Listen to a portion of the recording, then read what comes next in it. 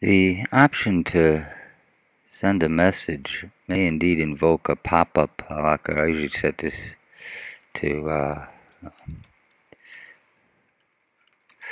to uh, I don't have any administrators, but I still tend to set this back to members only. Uh, so the only thing that I think would shut that down might be some kind of pop-up blocker.